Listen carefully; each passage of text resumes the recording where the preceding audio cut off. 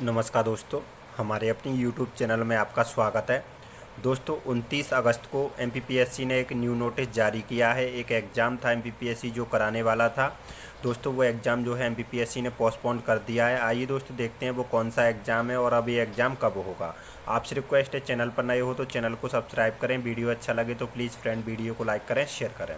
दोस्तों एम के एग्ज़ाम कराने वाला था जो दंत शल चिकित्सक यानी कि डेंटल जो डॉक्टर था डेंटल सर्जरी के जो डॉक्टर थे, उनका जो है एग्ज़ाम होने वाला था।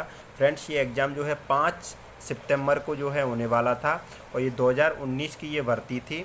तो फ्रेंड्स, ये वैकें, ये जो एग्ज़ाम था, ये पोस्टपोन कर दिया गया है, स्थगित कर दिया गया है। परीक्षा के आयोजन की आगामी तिथि यथाशीघ्र घोषित की जाएगी। तो फ्रेंड्स, जो डेंटल सर्जरी डॉक्टर का जो एग्ज़ाम होने वाला था पाँच सितंबर को, ये जो है पोस्टपोन कर दिया गया है अपरिहार्य कारणों से और परीक्षा के आयोजन की आगामी तिथि यथाशीघ्र घोषित की जाएगी।